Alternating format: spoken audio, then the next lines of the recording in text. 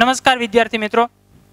કોરોનાના આ કેર વચ્ચે જ્યારે આપણો અભ્યાસ કથળી રહ્યો હોય અને આપણા અભ્યાસનું સ્તર નીચું આવતું હોય એવું લાગતું હોય, એ બાબતને ધ્યાને રાખી અને ધ સ્કૂલ ઓફ સાયન્સ દ્વારા ઓનલાઈન વીડિયો લેક્ચર્સનું આયોજન કરવામાં આવ્યું છે, જેમાં ધોરણ છ, સાત, આઠ, નવ અને દસના વિદ્યાર્થીઓને મહત્વના જે વિષયો છે વિજ્ઞાન, ઇંગ્લિશ અને ગણિત જેવા વિષયોના ઓનલાઈન વીડિયો લેક્ચર્સ આપની સમક્ષ રજૂ કરવામાં આવશે. તો આજે પ્રથમ દિવસે ધોરણ દસનું પહેલું ચેપ્ટર વિજ્ઞાન અને ટેકનોલોજીનું રાસાયણિક પ્રક્રિયાઓ આપ સૌની સમક્ષ રજૂ કરવા જઈ રહ્યા છીએ. તો પહેલું ચેપ્ટર કે જેનું નામ છે રાસાયણિક પ્રક્રિયાઓ. તો સૌ પ્રથમ આપણા મગજની અંદર વિચાર આવે કે રાસાયણિક પ્રક્રિયાઓ એટલે શું? તો આપણા જીવનની અંદર રોજ બરોજની અંદર ઘણી બધી એવી ઘટનાઓ થાય છે કે જે આપણા રોજિંદા જીવનમાં થતી હોય છે. પરંતુ આપણને એનો કદાચ ખ્યાલ પણ નથી હોતો. આપણે સૌ ગામડામાંથી આવીએ છીએ, આપણે બધા ખેતી, પશુપાલનના વ્યવસાય સાથે સંકળાયેલા છીએ અને આપણા સૌના ઘરે કાયમ માટે દૂધ રાખવામાં આવે છે. અને દૂધને મેળવી અને આપણે દહીં બનાવીએ છીએ. અને બપોરના સમયે એ સરસ મજાના દહીંનો આપણે લાવો લઈએ છીએ. તો એ દૂધમાંથી જે દહીં બને છે, એ પણ એક પ્રકારની રાસાયણિક પ્રક્રિયા છે. બીજા નંબરમાં, આપણી પાસે ઘણા બધા ખેતીના લગતા ઓજારો આપણી પાસે હોય, સાધનો હોય, અથવા તો લોખંડની એવી બધી વસ્તુઓ છે કે જે અવારનવાર આપણે આપણા ઘરે તાંબાના વાસણ હોય, પિત્તળના વાસણ હોય કે લોખંડની વસ્તુ હોય, એનો પણ આપણે યુઝ કરતા હોઈએ છીએ અને સમયાંતરે એની ઉપર કાંટ લાગે છે. તો આ પણ એક પ્રકારની રાસાયણિક પ્રક્રિયા છે. આપણે ખોરાક ખાઈએ છીએ, એ ખોરાકનું શરીરની અંદર પાચન થાય છે, આ પણ એક પ્રકારની રાસાયણિક પ્રક્રિયા છે. આપણે શ્વાસોશ્વાસની ક્રિયા કરીએ છીએ અને ઓક્સિજન અંદર લઈએ છીએ, કાર્બન ડાયોક્સાઇડ બહાર કાઢીએ છીએ, તો આ પણ એક પ્રકારની રાસાયણિક પ્રક્રિયા છે. આવી ઘણી બધી ક્રિયાઓ આપણા રોજિંદા જીવનની અંદર થાય છે, પરંતુ આપણને એનો ખ્યાલ નથી હોતો. તો આ જે કાંઈ ક્રિયાઓ થાય છે, એ તમામ પ્રકારની ક્રિયાઓને રાસાયણિક પ્રક્રિયાઓ એવું નામ આપવામાં આવ્યું છે. તો આપણા જીવનમાં થતી અનેક પ્રકારની પ્રક્રિયાઓ જેવી કે ઉનાળામાં ઓરડાના તાપમાને મૂકેલ દૂધ, ઉનાળાની અંદર ઓરડાના તાપમાને આપણે દૂધ રાખીએ તો એ દૂધની શું પરિસ્થિતિ થાય? તો કે ઉનાળામાં મૂકેલું દૂધ જે છે, એ દૂધ શું થાય છે? બગડી જાય છે. તો દૂધ બગડવું એ પણ એક પ્રકારની રાસાયણિક ઘટના છે. બીજું, લોખંડની વસ્તુને ભેજવાળી જગ્યામાં ખુલ્લી રાખવામાં આવે તો શું થાય? તો કે એના ઉપર કાંટ લાગે છે. આ કાંટ લાગવો એ પણ એક પ્રકારની રાસાયણિક પ્રક્રિયા છે. દ્રાક્ષનું આથમણ થવું, દ્રાક્ષનું આથમણ થઈને મોલાસિસની ઘટના દ્વારા દ્રાક્ષમાંથી આપણે આલ્કોહોલ બનાવીએ છીએ, આ પણ એક પ્રકારની રાસાયણિક પ્રક્રિયા છે. ખોરાકનું પાચન થવું, શ્વાસોશ્વાસ દરમિયાન થતી ક્રિયાઓ વગેરેને રાસાયણિક પ્રક્રિયાઓ તરીકે ઓળખવામાં આવે છે. તો સૌ પ્રથમ આપણે રાસાયણિક પ્રક્રિયાઓને સમજવા માટે સૌ પ્રથમ વિદ્યાર્થી મિત્રો આપણે એક પ્રવૃત્તિ કરશું. પણ મારી દરેક વિદ્યાર્થી મિત્રોને વિનંતી છે કે આ પ્રવૃત્તિ તમે તમારા ઘરે ટ્રાય ન કરતા, કારણ કે આ થોડીક જોખમકારક હોય છે, આમાં ખૂબ જ કાળજી લેવાની જરૂરિયાત હોય, એટલે શિક્ષકોના માર્ગદર્શન વગર અથવા તો લેબમાં ગયા વિના આ પ્રવૃત્તિ તમે તમારે ઘરે ન કરતા. માત્ર સમજણ માટે એ પ્રવૃત્તિ છે, જે પ્રવૃત્તિની અંદર તમારે શું કરવાનું છે? સૌ પ્રથમ તમારે એક મેગ્નેશિયમની પટ્ટી લેવાની છે. મેગ્નેશિયમ એક પ્રકારની ધાતુ છે. બીજું એક બર્નર લેવાનું છે કે જે આપણે ઘરે ગેસ હોય એ જ ટાઈપનું એક બર્નર હોય કે જેમાંથી અગ્નિ નીકળતી હોય છે. વોચ ગ્લાસ લેવાનો છે અને એક ચીપિયો લેવાનો છે. એ બર્નરની ઉપર તમે આકૃતિમાં જોઈ શકો છો, બર્નરની પ્રજ્વલિત જ્વાલામાં તમારે મેગ્નેશિયમને પટ્ટીને ચીપિયા વડે પકડી અને રાખવાની છે. અને નીચે રાખેલા વોચ ગ્લાસની અંદર થોડા સમય પછી એક સફેદ કલરનો પાવડર ભેગો થશે. અને સફેદ કલરનો પાવડર જે છે, એ ભેગો થશે. તમે દહન કરો છો મેગ્નેશિયમની પટ્ટીનું. પણ વોચ ગ્લાસની અંદર જે પાવડર ભેગો થશે, એ પાવડર મેગ્નેશિયમ નહીં હોય, પરંતુ મેગ્નેશિયમ ઓક્સાઇડ હશે. તો તમે દહન તો મેગ્નેશિયમની પટ્ટીનું કર્યું. તો ઓક્સિજન ક્યાંથી આવ્યું? મેગ્નેશિયમ ઓક્સાઇડ કઈ રીતે બન્યું એ જ આપણે આ પ્રવૃત્તિની અંદર શીખવાનું છે અને એ શીખવા માટે આપણે સૌપ્રથમ અમુક પ્રશ્નોના જવાબ આપણે મેળવી લઈએ કે સૌપ્રથમ મેગ્નેશિયમની પટ્ટીનું હવામાં દહન કરતા શું થાય? તો કે મેગ્નેશિયમની પટ્ટીને હવામાં દહન કરો એટલે મેગ્નેશિયમ જે છે એ હવામાંના ઓક્સિજન સાથે પ્રક્રિયા કરી અને એમાંથી મેગ્નેશિયમ ઓક્સાઇડ બનાવે છે. શું બનાવે છે? Magnesium oxide. તો ઓક્સાઇડ, આ ઓક્સિજન ક્યાંથી આવ્યો? તો કે તમે મેગ્નેશિયમની પટ્ટીનું દહન કર્યું તો હવામાં રહેલો જે ઓક્સિજન છે, એની સાથે સંયોજાય અને મેગ્નેશિયમની સાથે જોડાય અને મેગ્નેશિયમ ઓક્સાઇડ બનાવે છે. બીજો પ્રશ્ન, મેગ્નેશિયમની પટ્ટી શરૂઆતમાં કેવા રંગની હોય? એટલે કે એનું દહન કર્યા પહેલા એ કેવા રંગની હોય? તો કે ખાસ યાદ રાખજો વિદ્યાર્થી મિત્રો, મેગ્નેશિયમની પટ્ટીને દહન કરતા પહેલા ઉપયોગમાં લેતા પહેલાં તમારે એને કાચ પેપરથી બરોબર સાફ કરી નાખવાની છે અને કાચ પેપરથી મેગ્નેશિયમની પટ્ટીને તમે સાફ કરશો. એટલે એ મેગ્નેશિયમની પટ્ટીનો રંગ તમને સફેદ જોવા મળશે. કેવો જોવા મળશે? સફેદ. ત્યાર પછી એ મેગ્નેશિયમની પટ્ટીને બર્નર ઉપર તમે જ્યારે ગરમ કરો છો, ત્યારે એ કેવી જ્યોતથી સળગે છે?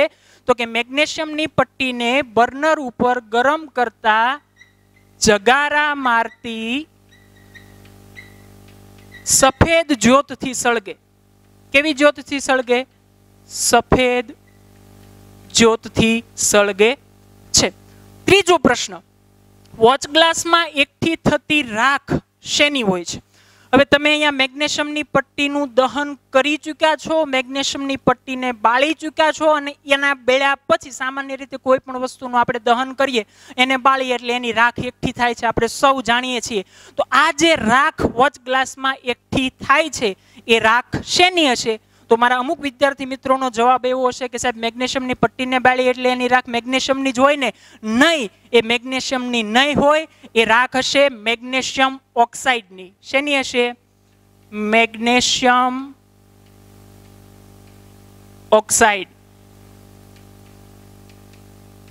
તો સ્વાભાવિક છે કે અમુક વિદ્યાર્થીને તરત પ્રશ્ન થાય તો આ ઓક્સાઇડ ક્યાંથી આવ્યું? તમે દહન તો મેગ્નેશિયમની પટ્ટીનું કર્યું તો ઓક્સાઇડ જે છે એ હવામાં હવામાં તમે જાણો છો મુખ્યત્વે ત્રણ વાયુઓ હોય છે. એમાં મુખ્યત્વે નાઇટ્રોજન અને ઓક્સિજન હોય છે. એટલે ઘણી વખત મેગ્નેશિયમની પટ્ટીનું દહન કરો એટલે નાઇટ્રોજન સાથે સંયોજાય છે અને મોટા ભાગે એ ઓક્સિજન સાથે સંયોજાય અને મેગ્નેશિયમ ઓક્સાઇડ આપણને પ્રાપ્ત થાય છે.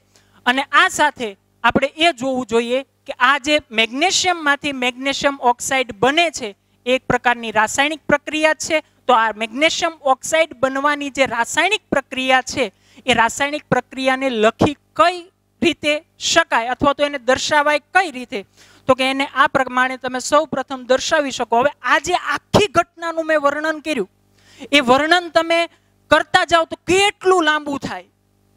બે ચાર પેજ એમ જ ભરાઈ જાય. પરંતુ આ વર્ણનને અથવા તો આ પ્રક્રિયાને ટૂંકમાં તમારે દર્શાવવી હોય તો તમારે એને શાબ્દિક સ્વરૂપ આપવું પડે. કેવું સ્વરૂપ આપવું પડે? તો કે શાબ્દિક સ્વરૂપ એટલે આ સમગ્ર પ્રક્રિયાને એક શાબ્દિક સ્વરૂપ આપી. તો કે ભાઈ તમે શું લીધું? તો કે મેગ્નેશિયમ. પેલા મેગ્નેશિયમ લખો.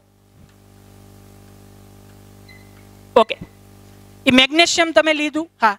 તો કે હવે એની સાથે તમે શું કર્યું? તો કે મેગ્નેશિયમનું તમે દહન કર્યું. દહન કરો એટલે સ્વાભાવિક છે કોઈ પણ પ્રકારનું દહન હવાની હાજરીમાં જ થાય. હવાની ગેરહાજરીમાં એનું કોઈ પણ વસ્તુનું દહન થઈ શકતું નથી. તો કે હવાની હાજરીમાં, તો કે હવામાં મુખ્યત્વે શું છે? તો કે ઓક્સિજન. તો મેગ્નેશિયમ વત્તા ઓક્સિજન. આ બંને વચ્ચે પ્રક્રિયા થઈ અને તમને શું મળે છે? તો કે તમને મળે છે મેગ્નેશિયમ ઓક્સાઇડ. ઓકે? હવે આ જે રાસાયણિક પ્રક્રિયા થાય છે, એ રાસાયણિક પ્રક્રિયા દરમિયાન કેટલાક ફેરફારો આપણને જોવા મળે છે. તો કે કેવા કેવા ફેરફારો જોવા મળે? તો કે પહેલું, પદાર્થની ભૌતિક અવસ્થા બદલાય છે. કોઈ પણ પદાર્થ હોય, મુખ્યત્વે એની ભૌતિક અવસ્થા ત્રણ હોય. ઘન પ્રવાહી કે વાયુ હવે જ્યારે રાસાયણિક પ્રક્રિયાઓ આવા પદાર્થની થતી હોય, ત્યારે આ પદાર્થોની ભૌતિક અવસ્થામાં ફેરફાર જોવા મળે છે. દાખલા તરીકે તમને એક ઉદાહરણ આપું તો કપૂર. આપણા ઘરે સત્યનારાયણ ભગવાનની કથા હોય ને, આરતીમાં આપણે કપૂરનો ઉપયોગ કરીએ છીએ. તો કપૂર આમ જોવા જાવ તો ઘન પદાર્થ છે. પરંતુ જ્યારે એને હવામાં ખુલ્લો રાખવામાં આવે, ત્યારે ઉધર્વપાતનની ક્રિયા થઈ. એ ઘન પદાર્થનું રૂપાંતર સીધું વાયુ પદાર્થમાં થાય છે. એટલે ઘનમાંથી સીધું વાયુ. એટલે એની ભૌતિક અવસ્થામાં ફેરફાર થાય છે. એટલે કોઈ પણ પદાર્થની તમે રાસાયણિક પ્રક્રિયા કરો, તો એ ઘન અવસ્થામાં હોય તો પ્રવાહીમાં આવશે, પ્રવાહીમાં હોય તો વાયુમાં આવશે, વાયુમાં હોય તો પ્રવાહીમાં આવશે અને પ્રવાહીમાં હશે તો ઘનમાં આવશે. એટલે પેલું પદાર્થની ભૌતિક અવસ્થા બદલાય છે. બીજું, પદાર્થમાં રંગ પરિવર્તન જોવા મળે છે. પ્રક્રિયા સમયે પદાર્થનો જે રંગ હશે એ પ્રક્રિયા થઈ ગયા પછી એનો એ રંગ તમને ઘણી બધી પ્રક્રિયાઓમાં નહીં જોવા મળે એટલે એના રંગમાં પણ પરિવર્તન થશે. ત્રીજું, અમુક પ્રકારના વાયુઓ ઉત્પન્ન થાય છે. દાખલા તરીકે ઝીંક ધાતુની સલ્ફ્યુરિક એસિડ સાથે તમે પ્રક્રિયા કરો ત્યારે હાઇડ્રોજન વાયુ ઉત્પન્ન થાય છે. Zn plus S two SO four, it's gave to Zn H two SO four plus H two એટલે કે ઝીંક ધાતુની હાઇડ્રો મન સલ્ફ્યુરિક એસિડ સાથે પ્રક્રિયા કરો, ત્યારે હાઇડ્રોજન વાયુ એટલે અમુક પ્રકારના વાયુઓ ઉત્પન્ન થાય છે. ચોથું, તાપમાનમાં પણ ફેરફાર થાય છે. અગાઉ આગળના લેક્ચરમાં આપણે જોશું કે રાસાયણિક પ્રક્રિયા દરમિયાન બે પ્રકારની પ્રક્રિયાઓ થાય છે તાપમાનને આધારે. એના આધારે રાસાયણિક પ્રક્રિયાના બે પ્રકાર પાડવામાં આવે છે. પહેલો પ્રકાર ઉષ્મા શોષક પ્રક્રિયા, બીજો પ્રકાર ઉષ્મા ક્ષેપક પ્રક્રિયા. તો ઉષ્મા શોષક પ્રક્રિયા કોને? આગળ આપણે ભણવાના છીએ, પણ અત્યારે તમને માત્ર માહિતી આપી દઉં. ઉષ્મા શોષક પ્રક્રિયા કોને કહેવાય તો કે જે રાસાયણિક પ્રક્રિયા દરમિયાન ઉષ્માનું શોષણ થતું હોય, ઉષ્માનો ઉપયોગ થતો હોય, ઉષ્મા વપરાતી હોય, ઉષ્મા યુઝ થતી હોય, એવી પ્રક્રિયાને ઉષ્મા શોષક પ્રક્રિયા કહેવાય. બીજો પ્રકાર છે ઉષ્મા ક્ષેપક પ્રક્રિયા. જે રાસાયણિક પ્રક્રિયા દરમિયાન ઉષ્મા મુક્ત થતી હોય, ઉષ્મા છૂટી પડતી હોય, ઉષ્મા ફ્રી થતી હોય, એવી રાસાયણિક પ્રક્રિયાને કેવી રાસાયણિક પ્રક્રિયા કહેવાય? ઉષ્મા ક્ષેપક, એટલે તાપમાનમાં પણ ફેરફાર જોવા મળે છે. હવે આ સમગ્ર ઘટના દરમિયાન મુખ્ય આપણા પાઠના કેન્દ્રમાં જે વસ્તુ છે કે રાસાયણિક સમીકરણ તો રાસાયણિક સમીકરણ લખાય કઈ રીતે? તો આપણે જે પ્રવૃત્તિ મેગ્નેશિયમની પટ્ટી સાથે કરી, હવામાં એનું દહન કરતા એની જે પ્રક્રિયા આપણે કરી, એની એ જ વસ્તુ અહીંયા આપણે દર્શાવવાની છે, પણ વર્ણનાત્મક નહીં, શાબ્દિક ટૂંકા અને સૂત્રાત્મક રીતે દર્શાવવાની છે. તો રાસાયણિક સમીકરણ લખવાનું પહેલું પગથિયું એ છે કે તમારી પાસે જે પદાર્થ છે એના માત્ર તમે નામ લખો. તો કે તમારી પાસે શું છે? તો કે મેગ્નેશિયમ છે. પ્લસ હવામાંનું ઓક્સિજન એટલે મેગ્નેશિયમ પ્લસ ઓક્સિજન. અહીંયા એક વાત નોટ કરજો મિત્રો, જ્યારે તમારી પાસે પ્રક્રિયકોની સંખ્યા એક કરતાં વધારે હોય, ત્યારે એ બંનેને દર્શાવવા માટે વચ્ચે તમારે પ્લસની નિશાની દર્શાવવી પડે છે.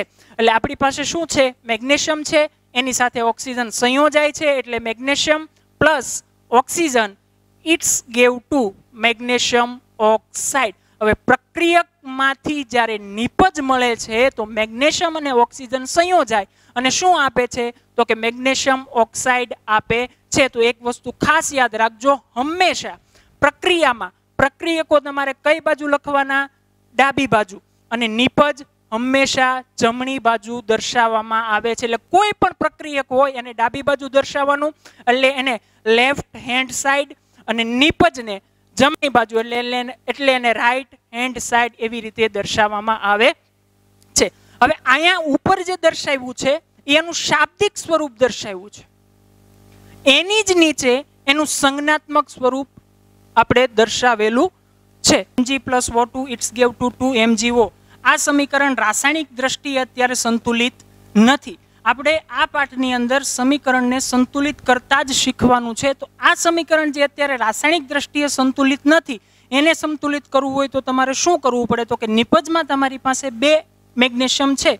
તો પ્રક્રિયક તરીકે પણ તમારી પાસે બે મેગ્નેશિયમ હોવા જોઈએ. હવે આ પ્રક્રિયા તમે જોશો, તો આ પ્રક્રિયા સંતુલિત ગણાશે. મેગ્નેશિયમના કેટલા? તો કે બે મેગ્નેશિયમના કેટલા તો કે બે ઓક્સિજનના કેટલા તો કે બે ઓક્સિજનના કેટલા તો કે બે. આવી જ રીતે ઘણા દરેક રાસાયણિક પ્રક્રિયા દરમિયાન મળતા રાસાયણિક સમીકરણને આપણે સંતુલિત કરતા શીખવાના છે, જે હવે પછીના લેક્ચરની અંદર આપણે જોશું.